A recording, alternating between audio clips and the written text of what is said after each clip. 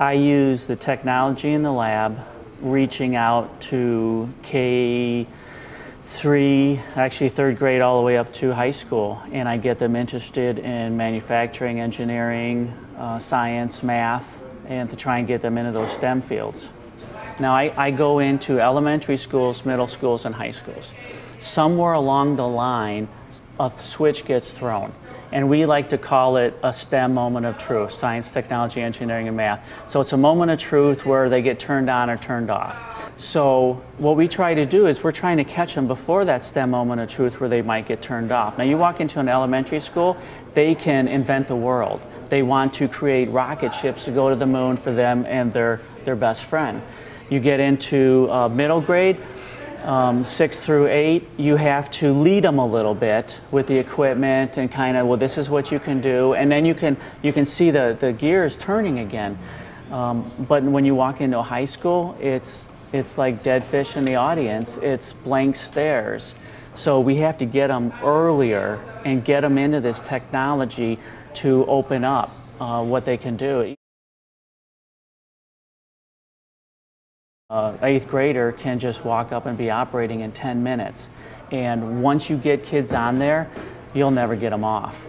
They will never go home. The, the list will just keep growing and they'll keep making and making and making. And that's what the country needs right now.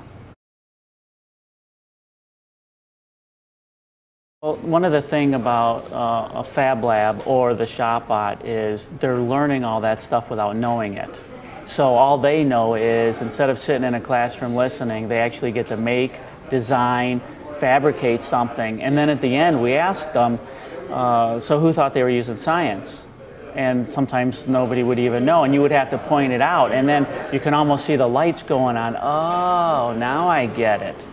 And one of the things that people don't understand is the kids nowadays, they don't learn like we learned. They're still being taught the way we were learned, but they don't learn like that. So these are the digital kids that that's all they've ever had is digital. So they think and act digitally. So when we bring them into the Fab Lab, everything's a computer and every piece of equipment is a printer. So let's say with a ShopBot, it's a CNC router, computer numerically controlled. Do they have to learn CNC? No. They get on the computer, they draw something digitally, and they hit print. This is how the kids learn. This is how they will be working. It's, it's all digital to them. They don't know what's behind the print button and they don't really care.